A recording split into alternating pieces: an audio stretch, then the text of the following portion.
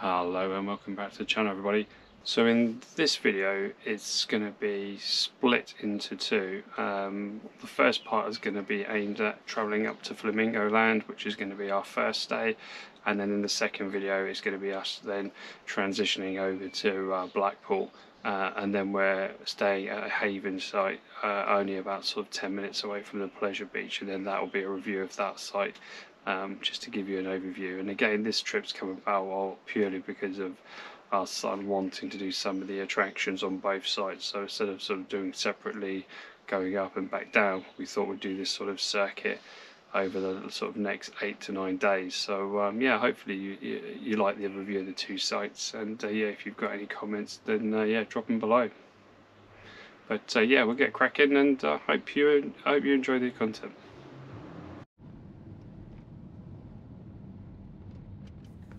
So this is the main approach going into the park. Um, it's quite straightforward. There's no tight turns. So um, yeah, you shouldn't have any issues uh, towing the caravan into this bit.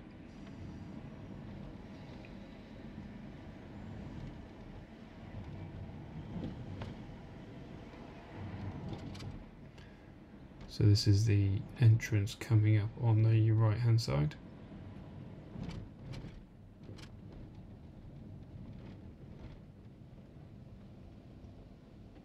And during our stay here, it, it never seemed to be too busy, so um, yeah, I'm not expecting you to have queues here, but um, always take the left lane. Obviously, you haven't got the options for the other two, and they're cornered off. But if you do get the options, then yeah, always stick to the left here. There was no one in this check-in. Um, it's just a case of going straight through and then just bearing round to the left. Day visitors then carry on straight down into the normal car park.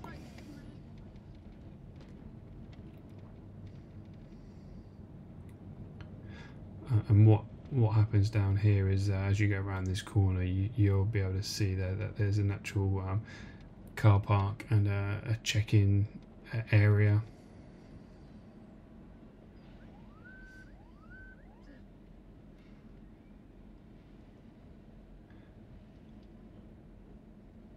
So the main car park where you check in is the one just down here by this wooden hut on the right where that white car is um, and you can pull in there go in check in and then you get your wristbands. Once you've got your wristbands that gives you access to the park and you'll need those to get through the check-in um, uh, with a security guard just down here. Uh, and your, your passes scans gets you into the actual park swimming pool entertainment anything to do with the park whatsoever. And, if, and as and when you come on backwards and forwards um, on and off site you'll need it just to check back in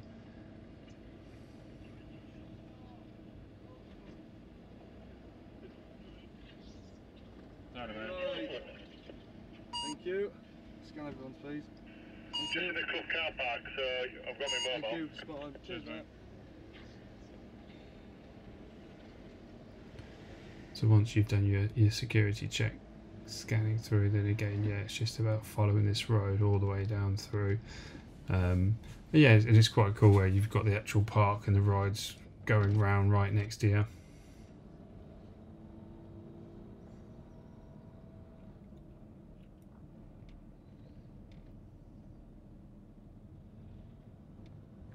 It also gives you an idea of the actual size of the park um, in terms of the, the attractions and the, the theme park.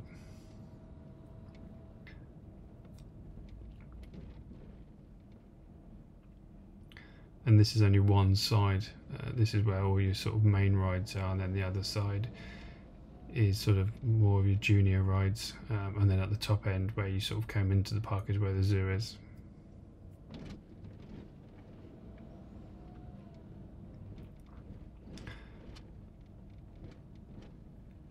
So now you're coming to where sort of the entertainment space is. So this part here on the right is actually sort of a, an external sort of um, uh, event where you can sort of um, have seating and, and, shows where they just have outdoor shows going on.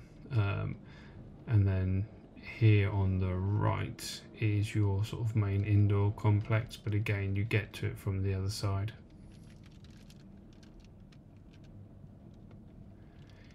you would just go round to the right there and then right again, and that's where your entertainment sort of starts or the um, access to the park. There on the right hand side or in front of you now is is the reception if you have any issues. Just past that on the right is your uh, shop. Again, you can get a um, fresh bakery in there as well.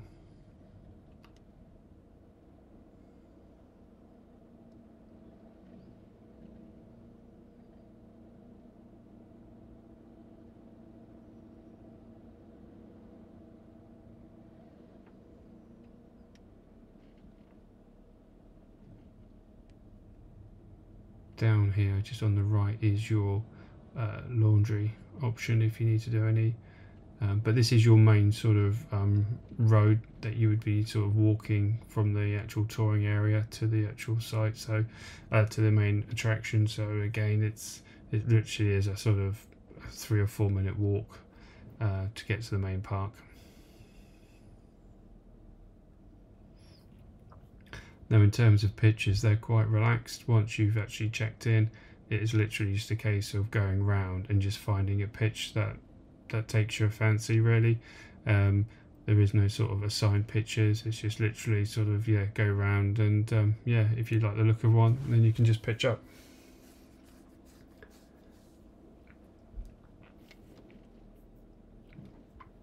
Obviously with the pitches you just need to double check and, and just sort of take one that you've actually been allotted in terms of if it, if, if it has electric or non-electric. But other than that yeah you can just um, rock up to anyone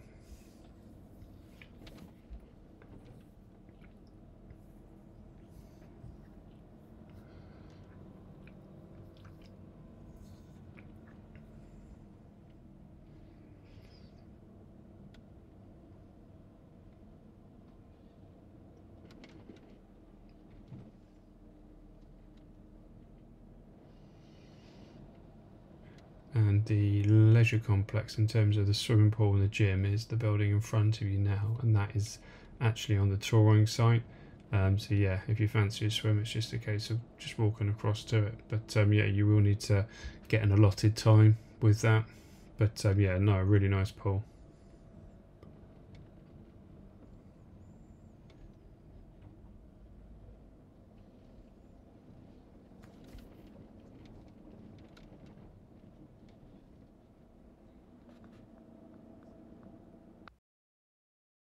So just a quick time lapse of our awning going up. So yeah, as I said earlier, this is uh, the main uh, swimming complex and gym. It has got like um, a little chill out area so you can get ice creams and a drink. Um, pool itself has got a couple of flumes, um, a, a, child area for swimming, sort of um, adult sort of swimming um, and also it's got like um, uh, a jet area um, swim spa jet. So again it's in a small part of the, the pool but again it allows you to do sort of swimming against the the current of those jets. So now we move on to some of the main rides actually within the park. So um, yeah I thought I'd just show you a few of the, the main rides just to give you a flavour of uh, what to expect. Um, like I say it goes on sort of more of the adult rides, then onto some of the baby rides, or so say smaller rides, and then the, the actual zoo itself. But uh, yeah, this will give you a flavour of what to expect.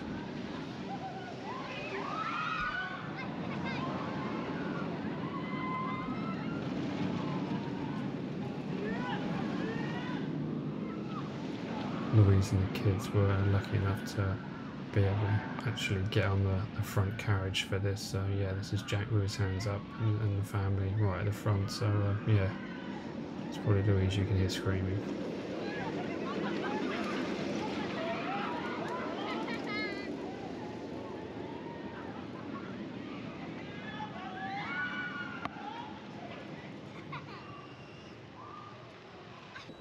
This is probably one of the um, longest queues that we saw on the park for this ride.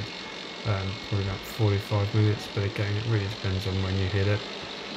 If you get there, obviously, first thing, obviously, uh, jump the queue. Um, and uh, if you're staying on site, you get an hour uh, early access. Um, than the park actually opening because it doesn't actually open till 11 and you can get access from about actually about half past 9 so normally quite a bit earlier than uh, the rest of the paying customers coming in.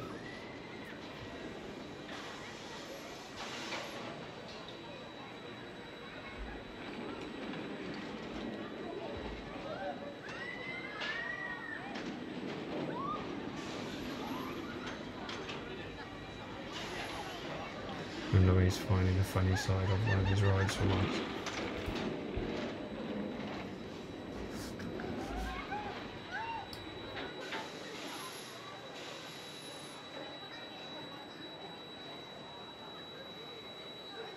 This is a slightly different ride where you're sort of uh, vertical getting in.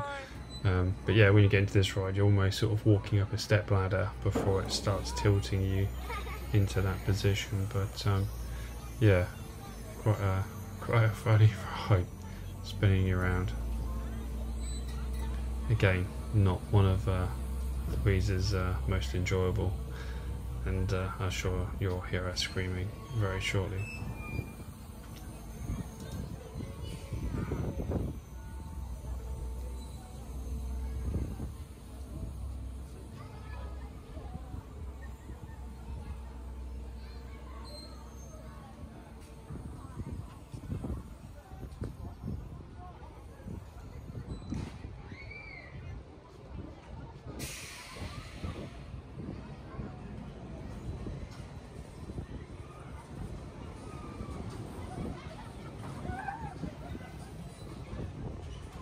screaming again.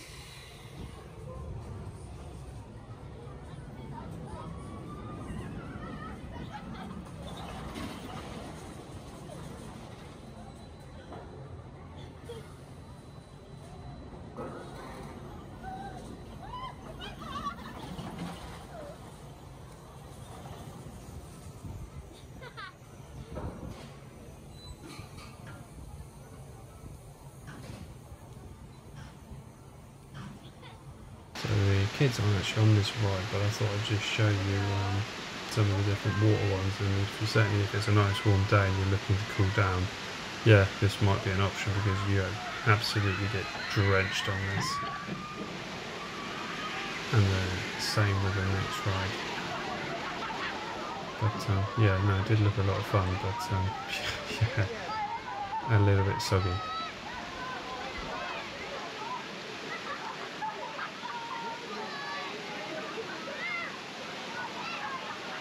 This is one of the rides where they thought they wouldn't get too wet and they didn't actually really look at it but there's a number of points where just by going on the ride you go under like a number of different showers. Um, and yeah each person gets its own sort of water gun but yeah all the way around the actual track is other people squirting water and Jack taking great delight in sort of yeah running from point to point and just soaking the girls. But um, yeah it seemed a lot of fun, but yeah, again, you absolutely got soaked on that. So yeah, just make sure it's a nice warm day if you're going to opt for this ride.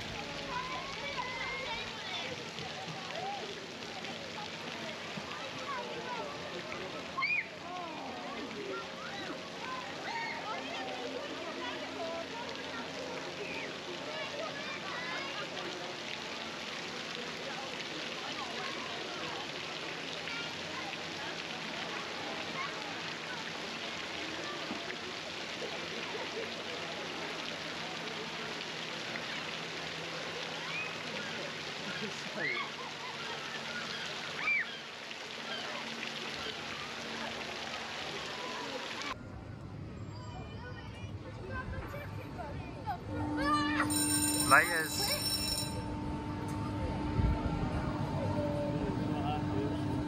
She ain't gonna be happy in a minute.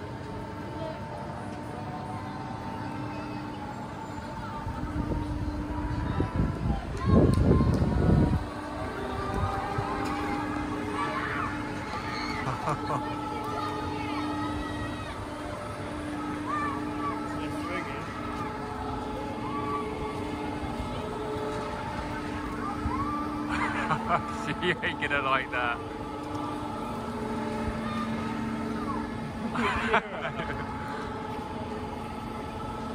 I told her, she, I, I said, oh, she's going sideways now. I, I said she should have sat on the outside.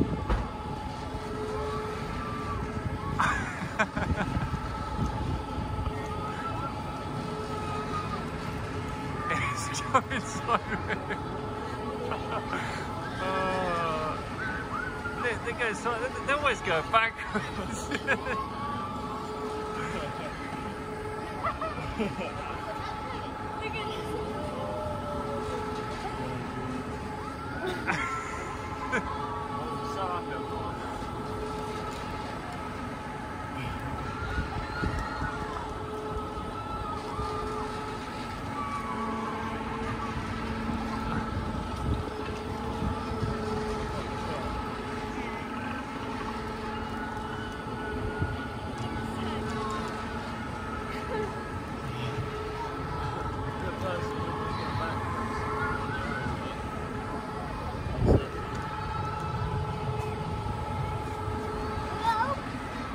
It this way, I don't think she's going to go on it again.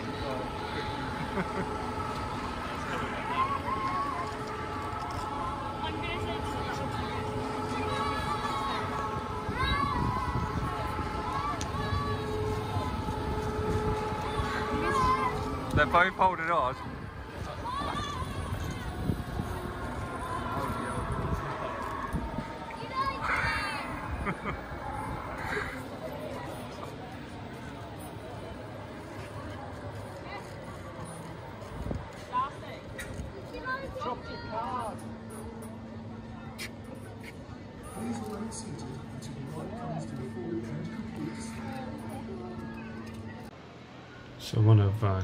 Charlie's favourite rides were, were these cars, and um, yeah, they're very similar to what was at Euro Disney. Uh, and again, yeah, you sort of got quite a large track just to have to go around. But yeah, she found it great fun, just sort of racing her brother and sisters at times. So uh, yeah, one of the runs she she would run for each morning.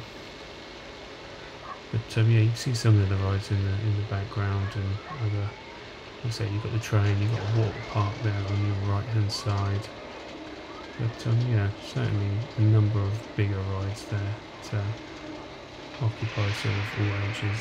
Um, and then you've got the um, tower there on the left hand side that shoots you up. And again, that goes off um, in terms of testing every morning, so it's a good wake up call about nine o'clock every morning. So you know once they're testing that, about half an hour afterwards, the park's good to go. So uh, yeah, listen out for that, and then uh, you know, you know if you're sleeping in, you can get up.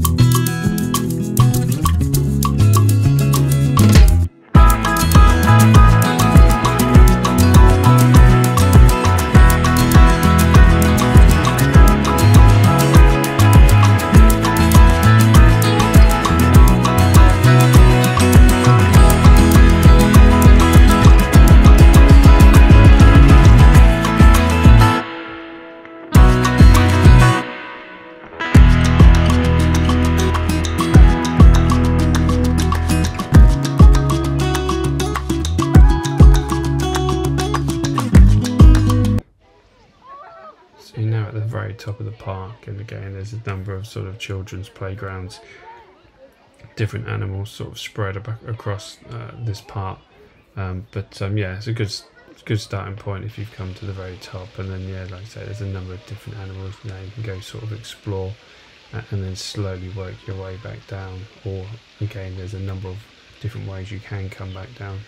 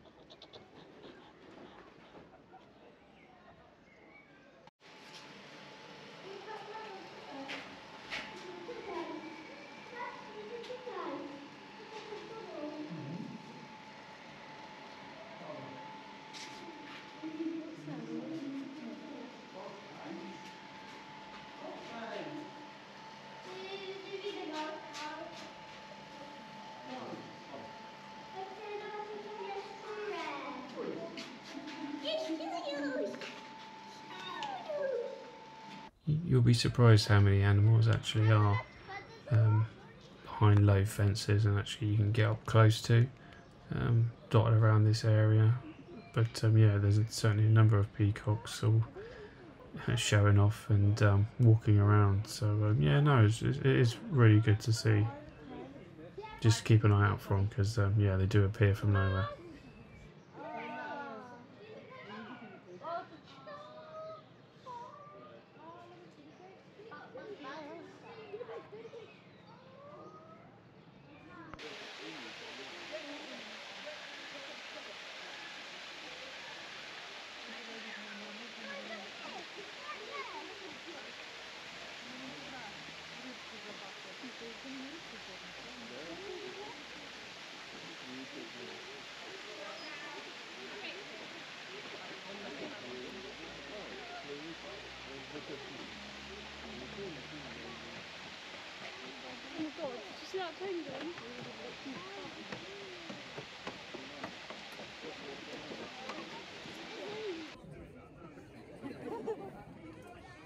So this is one of the shows that they do. They do this three times a day in the afternoon. You'll need to check the times. Um, but yeah, it lasts about 20 minutes, but yeah, well worth a watch. Really, really good and yeah, very clever what they can actually teach these animals.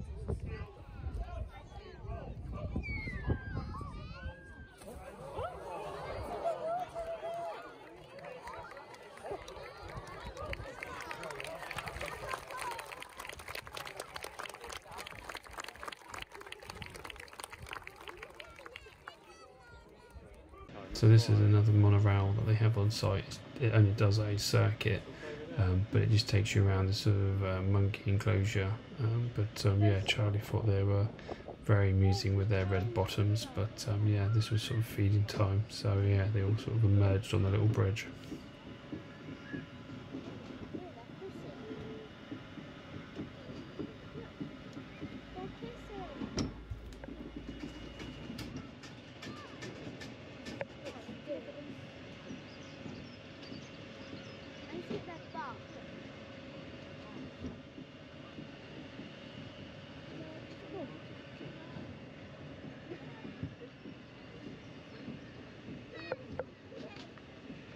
The giraffes were really great look, uh, being able to see them up close.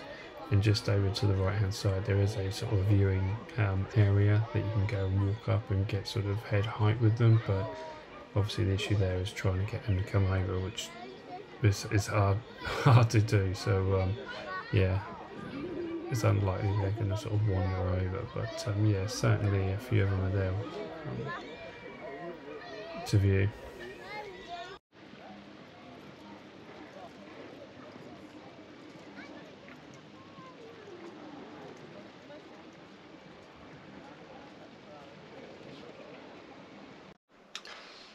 overall for the uh, costings in terms of what you get included in terms of your stay at Flamingo Land, I can't fault it. I, I think it's really good value for money. What's actually on site uh, and what's included is, is really good. Uh, the swimming pool is nice and modern. It's got lots within that space. Um, the actual uh, park itself with all the different attractions, whether that's the, the rides or the zoo, again, there's so much to do there. It, you do need a good sort of at least three or four days to explore it properly, and that's not because of the queues. Because to be fair, there wasn't many queues when we were there. It's just there's just a vast amount of things to do. So um, yeah, as a park goes, it's certainly one I would definitely recommend going to. I, I had nothing to fault it really. Uh, yeah, very laid back. Um, and really ticked all the boxes. The kids loved it. So uh, yeah, no, if you're considering it, yeah, I, I would get on a book it and uh, yeah, head that way. So hopefully you've enjoyed uh, part one of, this series. Um, like I say, it's going to be a two-parter. The next one's going to be sort of aimed at Blackpool when we sort of travel across the country to the, the second venue.